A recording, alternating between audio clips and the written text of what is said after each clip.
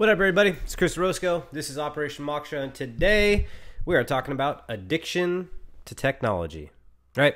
Because I think to a certain degree, all of us suffer from this. I know I've got a few technological things that I could fairly easily get addicted to.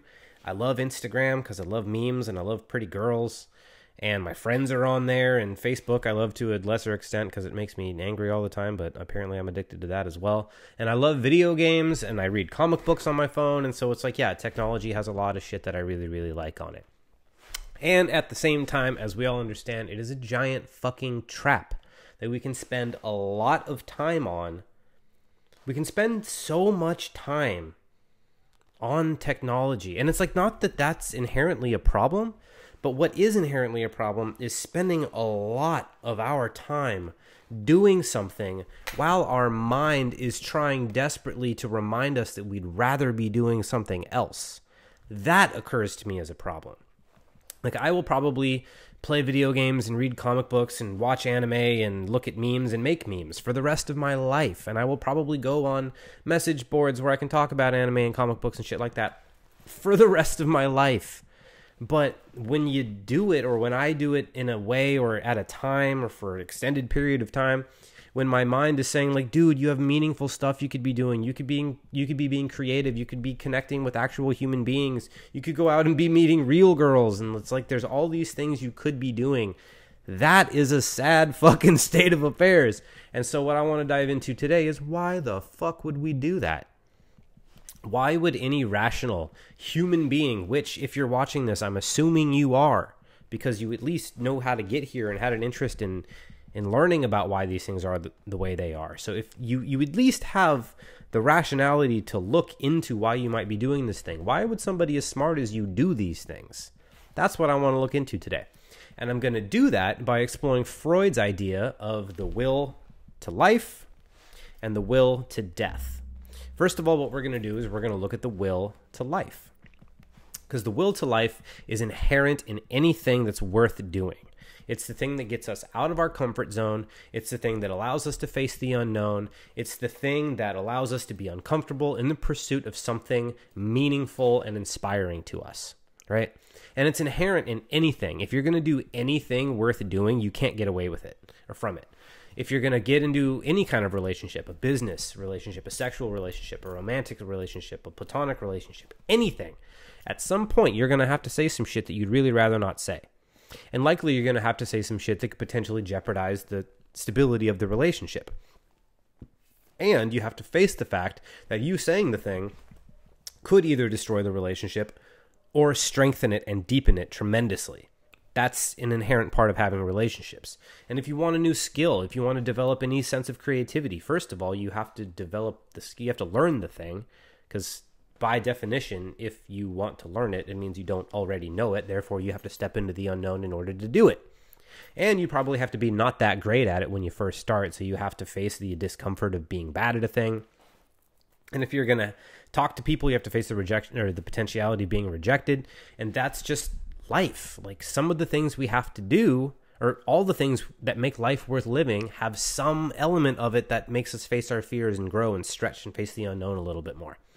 So the answer to that, or the thing that balances it out, is the will to death. It's the part of us that wants to run and hide from all that stuff, which is not by any means inherently bad.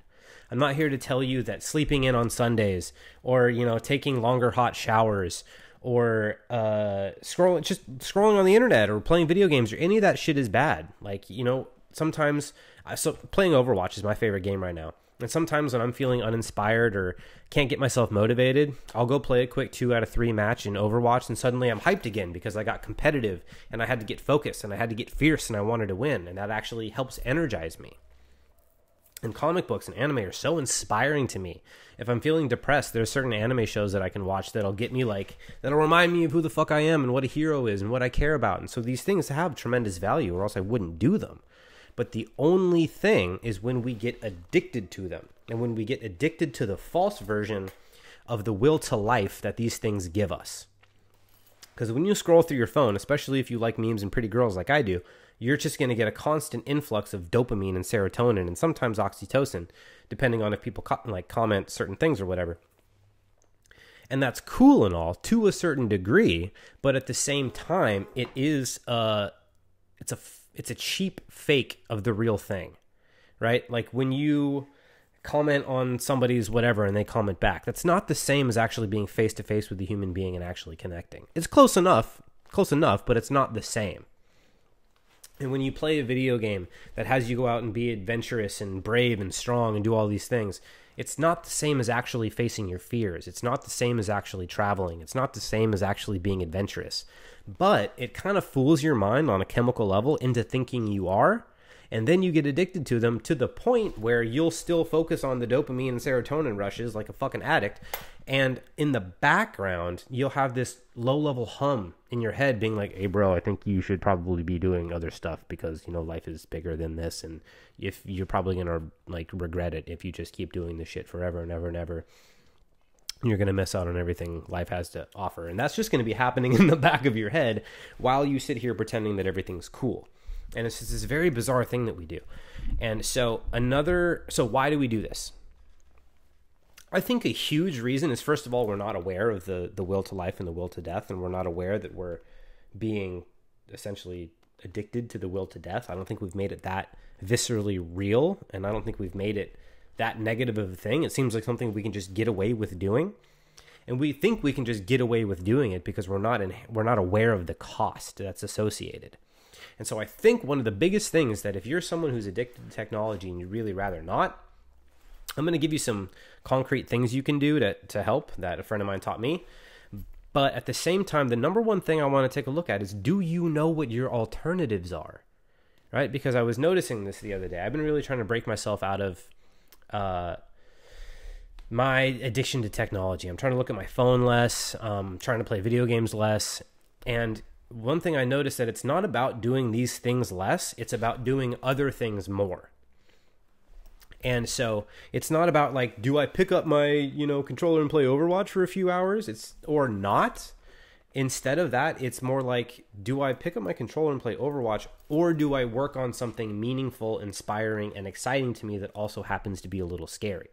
And I think a lot of us don't actually identify what that would be for us. And so it's a question of do I do this thing that is at least bringing me a little bit of joy, or do I put it down and face the existential terror of not actually knowing what the fuck I want to do with my life? When you're put up against that kind of situation and when those are your options, it becomes pretty quick to choose this or it becomes pretty easy to pick the serotonin and the dopamine over the existential terror and of not knowing what the fuck to do. So the thing to do first is to identify what you'd rather be doing. And this serves two purposes. One, first of all, it inspires you so that when you think about putting your shit down, you're like, oh, I could do that inspiring, exciting thing that's also a little scary, which is tremendously helpful because you start to orient yourself about where you want to go rather than what you'd rather not be. Because focusing on what you'd rather not be is just going to keep you stuck in that mentality. But if you can focus on what you actually want to become, it'll start to build momentum in that direction. And that's extremely important because you're going to build momentum in whatever direction your attention's focused. So build your momentum in the direction you actually want to go in. So define the direction you actually want to go in. Now, this will do a second thing as well. That low level hum of like psychological distress that happens in the back of your head when you like know you should be doing something else. this is this is both bittersweet because it'll make that louder and more intense. And you want that louder and more intense you want that psychological distress of like, dude, you're missing out on life. Like, you're not being creative. You're not contributing to the world. You're not doing the work that matters to you. You're not out connecting with your friends. You're not out doing all these things that would fulfill you. Like, you want that voice to be as loud as fucking possible. Because without it, you're on a one way ticket to dying with regrets. So it may seem shitty and it may seem inconvenient, but if you have a voice in the back of your head that's telling you and screaming at you that you could be doing more, and you know it's true, like thank God for that because that's what'll get you to change. And if you clearly identify all the things that you want, and if you clearly identify what will happen if you don't go for them over an extended period of time, as you st- as you spend an extended period of time, all that shit will come up and it'll be like, dude, not only are you missing out on stuff, but it's just costing you a lot, and you, your life could potentially go to shit if you don't go do the things that you want. You want that voice loud as possible so that it'll actually motivate you to take some changes.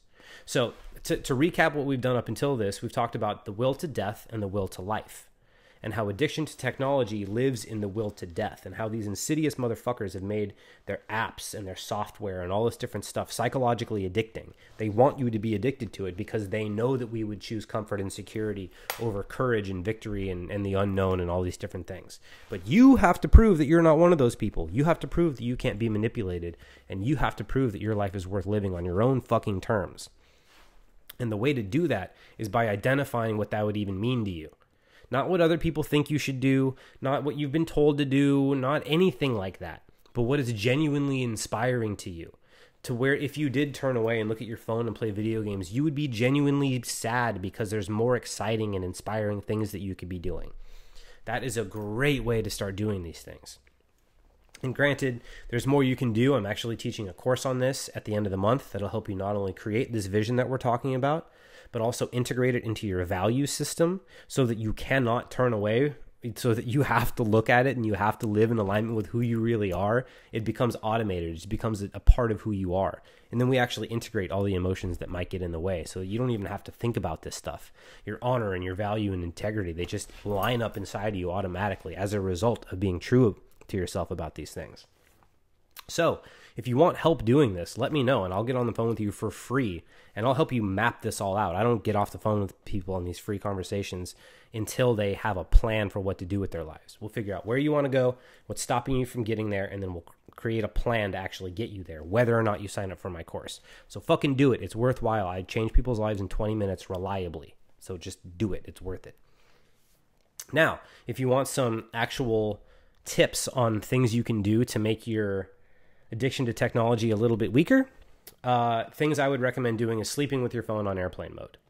I started putting my phone on airplane mode an hour before I go to bed. So my air, my phone goes on airplane mode at 10 o'clock, and I'm generally lights out by 11. So that gives me an hour to like stretch and smoke weed and meditate and, and journal and whatever I feel like doing to get myself ready for bed. And then when I wake up, I do my morning routines again, knowing that I will never know if anybody sent me a message. If there's anything that's going to stress me out first thing in the morning, I won't know until I choose to. If somebody's upset at me, I won't know until I choose to. And that creates a really awesome level of peace. And another thing I recommend doing, if you're like me and you work from home and like there's just distractions everywhere, keep your phone in another fucking room. You know, like figure out what you got to do, mark out your time to do it, and throw your phone in another room so that it can't distract you or anything like that. But uh, I notice it's it's harder for me to say no to video games than it is to my phone, and so it's really important to know what's worth choosing over that because video games are really fun to me. It's just like it's challenge. It's it's you're connecting with other people. You're competing with other people. A lot of times they're really cool looking and they're also just fun, and so it's there's a lot of adventure in it. It meets a lot of my values. And, and Tony Robbins said this thing where if something meets uh, three human needs, it becomes an addiction. And technology and video games meet a lot of my needs. So it's like just forget about it. So create your vision and do these little hacks, and maybe you can, you know, have a little bit more freedom and you can be more in line with who you are and what you really want. And if this sounds like a lifestyle you want to embrace, then hit me up and I will get on the phone with you for free and map all this shit out for you. All right, I've talked for 14 minutes. I love you. Thank you so much for watching. Seriously means the world to me that you're here and watching all this stuff and thanks for being a part of my life. I love you.